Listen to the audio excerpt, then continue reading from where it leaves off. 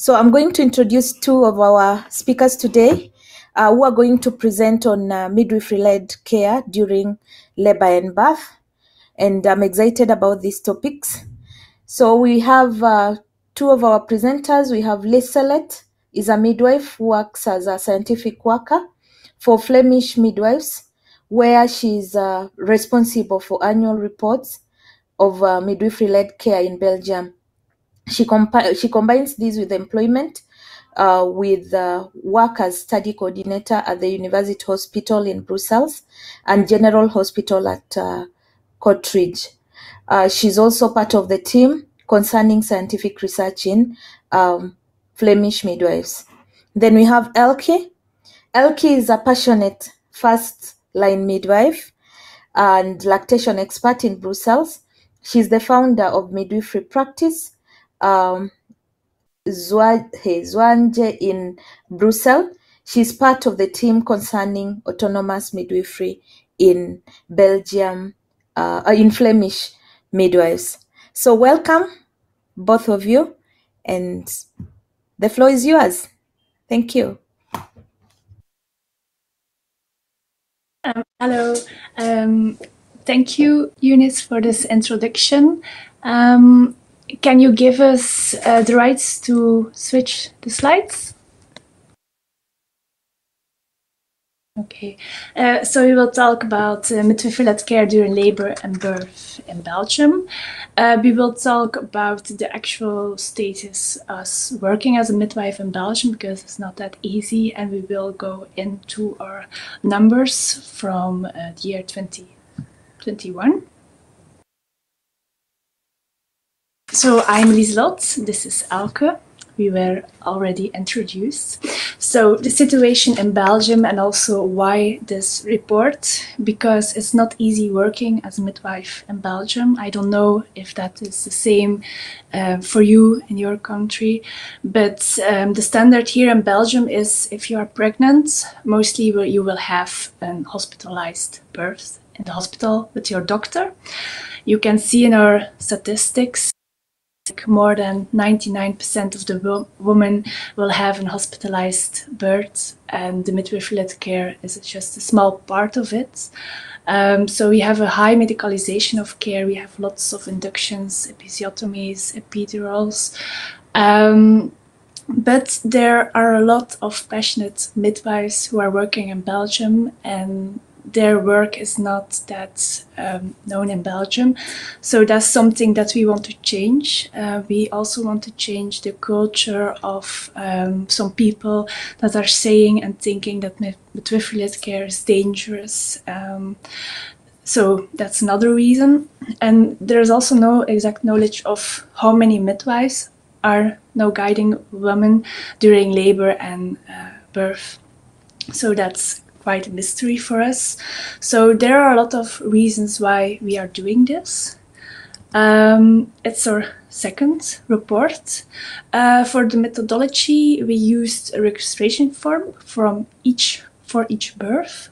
Um, we focused mostly on low risk pregnancies, which we mean um, labors that can start in the first line with the midwife and that are planned to uh, give birth with a midwife. That can be at home in a birthing house, um, in or outside the hospital, or the midwife can go uh, to the hospital and using the labor ward to guide her woman during labor and birth. Mostly of our registrations are from the Flemish and uh, part of the of the country and Brussels. So you can see on the map the green and the orange parts. Um, Belgium is really quite a difficult country. We speak a lot of languages.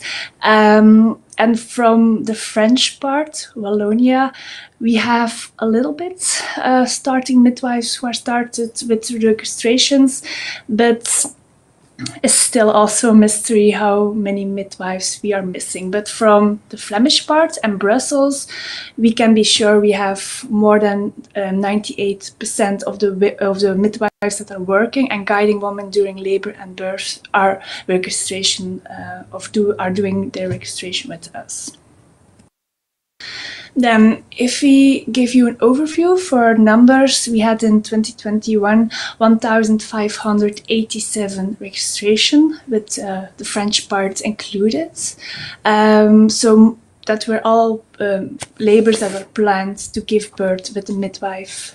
And um, from them, we had 1,311 midwifery-led births, um, mostly outside the hospital. A lot of women uh, of women prefer to give birth at home. Um, slightly, uh, twenty percent uh, were in a birth center, and one on the go. There were also uh, inside the hospital. We have one uh, midwifery-led unit in Belgium. One, I mean, one in a hospital. In other countries, I think it's more midwifery-led units in a hospital. We have just one in Brussels, but they are really doing a lot of work. And then we have um, the births where the, the midwife goes to the hospital and um, uses the labor ward of the hospital. There were also um, a few women that needed to be transferred during uh, labor, and we will go into that in da- detail later. Um, so, thank you, Lieselotte.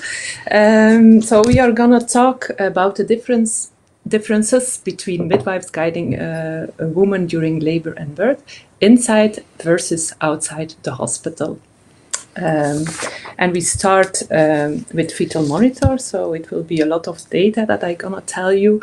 Um, uh, the fetal monitor outside the hospital, mostly we use intermittent auscultation, like uh, 97%, so the uh, biggest part. And in the hospital, we see that there is uh, more use of um, CTG for the outside um, hospital deliveries, we think that it's important um, in promoting the mobility for pregnant women, um, and that's why um, we promote that too. You see also that um, outside the hospital, uh, 3% um, didn't have any uh, fetal monitoring, so that's what we think, uh, or we call the speedies. they delivered very fast, and in the hospital, you see also more continuous uh, CTG, 6%. Um, and if we go um, through the ruptures of the membranes, um, we see in the hospital, uh, or we see a difference of 5%. So there is more spontaneous rupture of the membranes outside the hospital um, than inside the hospital. And um, what is also a difference is that you see that 1% of the babies are born in the amniotic sac. So in Belgium, we call them um, born with a helmet, and we uh, say always that that are lucky babies. So there are more um, intact amniotic sacs outside the hospital than inside the hospital. Um, okay. Um, and then we go um, through the birth positions. You, so you see that it's a bit the same inside and outside the hospital that the majority um, of the women choose for an upright birthing position. Um, um, around 40% um, choose for uh, the hands and knees position um, inside and outside hospital. Um, and also, you see the same amount 43% of the women had a water birth, and that's water birth in the different positions. Um, what is the difference inside the hospital? You see more um, supine, uh, supine positions or more lying down positions. Um, good. And then um, about the perineum, uh, we are proud to announce that 97% of the birds um, were with an intact or mild perineum rupture. So that's uh, very nice. Um, and only 1% had an episiotomy in, outside the hospital and also inside the hospital. Um, and also, we didn't have had a lot of severe ruptures, uh, around one in between 1 and 2% for uh, inside and outside hospitals. Um, okay. And then for the repair of the perineal lacerations, um, 60% um, outside the hospital didn't need any stitches. Um, versus inside hospital 42%. Um, and most of the women were um, search- searched by midwives um, inside and outside the hospital. Um, and then the placenta. Um, so you see that's also a bit the same.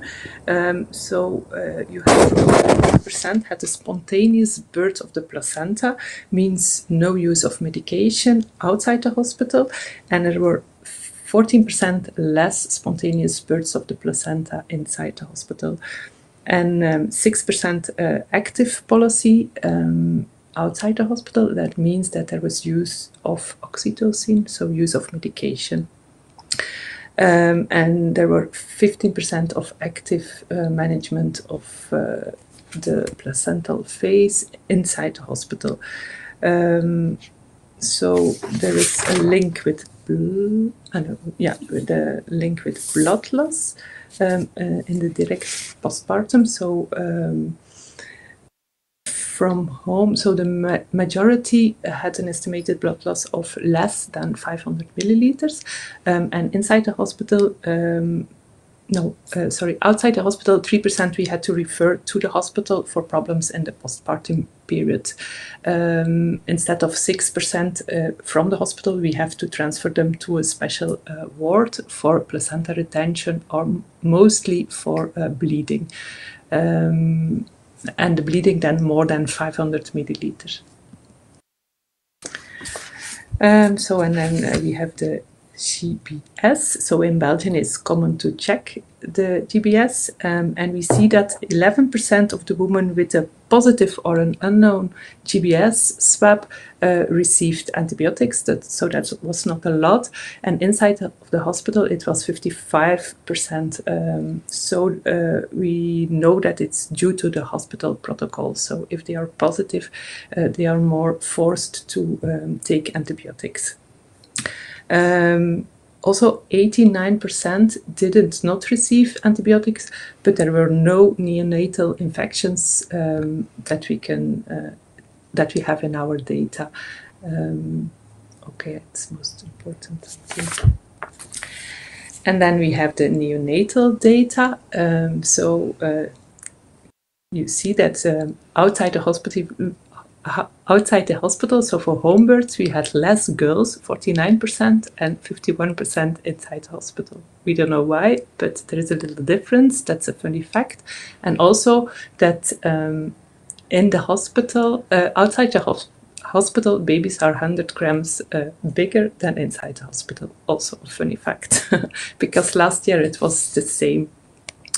Um, and how babies react after their birth, we saw that it was after one minute and five minutes um, very good um, APGAR scores, um, so more than seven, um, also uh, inside the hospital. Um, and it, there were uh, 4% uh, neonates uh, or babies that had to go um, to the neonat- neonatology for reanimation, and 3% inside the hospital. So here you can see an overview of the data. Um, for the comparison between outside and inside for fetal monitoring, uh, we are happy to see that most is intermittent auscultation. But you see, inside the hospital, when a CTG is available, it's also more used. Um, for the rupture of membranes, we have quite similar um, results. For the birth position, uh, we see in both settings that a woman could choose a lot of positions. Um, they preferred on hands and knees, so um, outside and inside the hospital. But inside the hospital, we see slightly more uh, supine positions. Then uh, for the perineum, we have really good um, numbers here mild perineum rupture or an intact perineum. Yes, for the placenta, we see a more difference, but it's like what Elke said. Um, it's like that the some hospitals are um, yeah they make it available to use the labor ward as a midwife, but then you have to follow their protocols. And in a lot of hospitals, it is um, after the birth, you have to give the woman directly uh, medication like oxytocin. Um, and that's why you see here uh, the difference. It's like the same with the GBS. Um, in a lot of hospitals, it's like the protocol you have to give uh, a woman antibiotics intrapartum if she has a positive or unknown GBS swab. For the APGARs, we have in both groups really good um, APGAR scores. Like I said, there were also um, transfers um, intrapartum, like 17%. Why? Uh, mostly for uh, stagnation. Um, 27% of the women had to be transferred for no progression and dilatation. Um, we had also a lot of referrals due to other reasons, like the need for pain relief. Um, and we are happy to see that uh, the referral due to urgency are um, quite uh, not that much, just uh, 7%.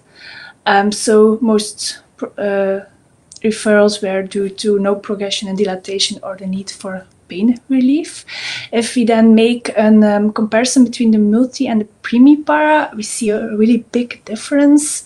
Um, if there was a transfer needed, and it was 72% with the primi-para against just 28% multi-para. Um, but the reasons why are the same. Um, but here also for stagnation of labor, um, the difference between pre, primi and multipara are um, quite a lot. For urgency, they are um, the same, just low percent, uh, percents that we are happy to see that these are low. And for the other reasons, like the need for pain relief, we see also a big difference. Then, how was the delivery after a transfer? Uh, more than half of the women had a spontaneous delivery. Um, a quarter of the women had an instrumental delivery with the ventouse or forceps, and 14% had a C-section. Um, almost half of the women did ask for an epidural anesthesia after transfer, and a quarter of the women did received an episiotomy. So here um, it's difficult to say. It's really easy to say. Um, yeah, in the hospital we see more medicalization, um, but after transfer, do we still speak about a low risk pregnancy? Not in every case. Um, so it's normal to see more uh, medicalization. But um, if you would look at normal uh, birthing process in a hospital of a low risk woman, you would also see more continuous use of CTG, uh, more uh, use of supine position, um, an active policy for uh, the birth of the placenta. So it's, um, yeah, quite double here to say. Then um, the neonatal data, um, we have slightly more girls um, the mean birth weight is quite the same as in um, like the midwifery-led births, uh, around 3.5 kilograms. And the APGAR scores here are um, also really good after one and five minutes, and uh, just 7% of the neonates required reanimation. So, um, who is now typical woman that chose to have her delivery with her midwife? We see mostly multipara women why is that? Um, yeah, we have mainly two reasons. Um, we have uh, women that are afraid for uh, the previous birth with the midwife for the first child because yeah in our society it's like the culture you have go to the hospital to have your um, birth in the hospital with the doctor so it's quite alternative to do it with a midwife, but we also see uh, a lot of women that are not happy or traumata, traumatized um, by their previous birth and want to have another experience for the next child or the next children. For the mean age, we see um, 33 years old, and uh, the preference goes to a home birth. Then the typical uh, birth here for fetal monitoring, um, it's intermittent auscultation with Doppler. The previous, the the birth position that is most preferred is on hands and knees. Um, placental phase, we have blood loss less than 500 milliliters with spontaneous birth of the placenta. We have good APGAR scores for more of seven um, after one and five minutes. The mean birth weight will be around 3.5 kilograms, and if there is transfer needed, it will be mostly with primipara for stagnation or the need for pain relief. Okay, um, this is uh, one of the last slides. So the project project Open Hospital. So uh, as we told, in Belgium it's not so easy as a midwife to do births. Um, or birds themselves, uh, midwives. There are different reasons. The culture, culture for women uh, to deliver with a midwife, but also the culture um, for the midwives because they are um, often the assistant of the gynecologist. And also, there are not a lot of possibilities to do births in uh, there is uh, few birth centers and there is uh, recently one ward closed last year. And um, that's the reason that we start a working group of volunteers midwives to make a document open hospitals. Um, and we did that to empower midwives and to discuss um, with hospitals um, to open their ward to have the possibility to do uh, births Yesterday, yesterday I discussed that in the center of Brussels um, with uh, one of the hospitals. Um, uh, I hope they will give us a go, um, but that's not sure yet. Um, and just to say that we uh, do all this for women, and also um, we like to wake up the government um, to to tell them to see that it's very important to have women centered care. Okay. Yes, because we believe that each woman um, should where to give birth and with who as a caregiver. Um, so that's the end of our presentation. Here you can see also our poster about the animal report, and you can find everything on um, this site um, where you can find the poster in different um, formats. Formats and languages too, I think. And languages too.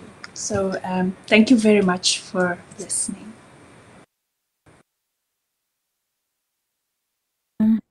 Yes, uh, thank you so much, Liselet, Lisolet and Elke for the nice presentation um, on midwifery-led care during labor and birth. And I think that's quite inspiring. So feel free to, for the, for the viewers, kindly feel free to ask questions. You may unmute yourself and ask um, verbally, or you may type your questions in the chat box. I can see one question for you, Lisa Yes. and uh, The, um, so the question is, what are the responsibilities of the midwives after transfer? So it's really diverse for each hospital. In some hospitals, they close the door. You cannot go with your woman. And other hospitals, you can go as doula, but not as midwife. And other hospitals, they let you go as midwife. So it's quite different for um, each hospital and also for um, the midwives that working in the hospital. Sometimes you have a really good um, connection with them or just not. Um, so it depends. But if you transfer to the hospital, then um, it's the doctor that is responsible on that moment. So if you, um, as midwife, decide that it's too risky to do a home birth or to the to have a midwife birth in the hospital, and you transfer, then you're not responsible anymore. I think also that was Yeah. the question, maybe. Okay. So maybe a question um, for you all. Um, how is the situation in your country for the midwives? Is it easy to work, or do you experience also like a cultural, yeah, difference, or is it seen like something alternative or something? Mhm. Yeah, that's a very good good question. Uh, maybe I'll take it first. Uh, for Kenya, given that uh, I'm a midwife in Kenya, although um, mostly um, teaching, in Kenya we actually don't have midwifery-led care like outside the hospital setting. generally. Um, so most of the births take place within the hospital. Um, the home births um, very few and it hasn't been embraced within the country that uh, you can have home births. So that's something I would like to maybe for you to share the lessons from, from um, your country. How did you achieve these? Maybe from the history that you, you were able to have midwifery led uh, care within the country because like today we had international day of the midwife celebrations and that's one of the, our asks that we want to be you know allowed to have midwifery led care outside the hospital. But then of course they are talking about infrastructural challenges. So maybe share with us also how did you go about it to have it more you know strengthened within your country? Thank you. Um, I also see a question um, for Celine. Uh, midwives are part of the public healthcare system, but um, their payment is quite low. Um, so you have the convention where the midwives ask um, like an uh, amount that is set, but for some midwives it's really really low to survive at the end of the month. So they have choose to deconvent and to ask more. Um, and for the reimbursement, it's quite lower, so the patient had to pay a little bit more, but it's still not that much. But um, it's part of pu- public care. And I agree with Aisha that it would be more cost effective. Um, we have tried to uh, do some research for that in Belgium, but they didn't accept it. Um, so we will keep trying. Okay. Um, maybe uh, another question about uh, the midwifery led care model that you have. What are the types, maybe in your country, that you have embraced? For example, do you have like midwifery led uh, care uh, facilities which are alongside, like in the hospital, but then there's typically one unit which is midwifery led care, and then another one obstetric led care, or um, maybe you have another one which is standalone midwifery led care outside the hospital but in their own setting, or maybe so. What kind of um, midwifery led care do you have in your country? You are muted. for us, Ah, Um, so mostly it is just one type of care, and that's just the labor ward care. There's only one hospital where they make a difference. So you have the midwifery unit in hospital, and you have la- you have the labor ward, and those are um, yeah not uh, they are not. Uh, s- uh, they are separated Yeah. from each other but then the only settings you have are birth centers outside of a hospital And the home birds. and the home births and in some cases a midwife can go to a hospital to use the labor wards but it's only hospitals that are open for that so as a midwife it's really difficult for working but also i'm pregnant now and i had the opportunity just to have uh, with one midwife association to have my home birth because it's too far for other midwives and that's really sad if you want to have a home birth in belgium Okay. And there is a question, Sabrina. So most uh, women received prenatal preparation. They have all prenatal um, follow up, but mostly with a gynecologist, and that's um, more uh, medical checkups. And they have uh, not a lot of um, preparation, prenatal preparation. So midwives um, take care um, of to to prepare them them for. Uh, labor and uh, um, and their midwives are also giving uh, courses in group, but not for everyone uh, for the moment. Okay. Uh, that's a good, uh, actually, question. Uh, I'm just thinking about um, psychoprophylaxis, like preparation in case of um, maybe an emergency alternative maybe what considerations do you usually have for women to choose that this woman i can take care of them within a home setting and this one i need to refer. Maybe just a quick one for those people like for us who are still thinking of uh, you know who are still advocating for this. So before we start maybe what are some of the considerations you would uh, maybe share with us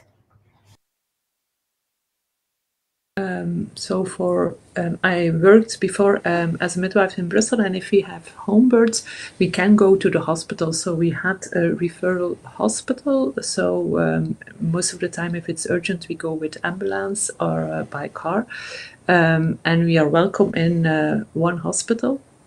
Um, so work or it's nice uh, to work together with them. Um, and that's also the hospital that I asked to have a midwifery led care um, yesterday. oh, okay thank you thank you so much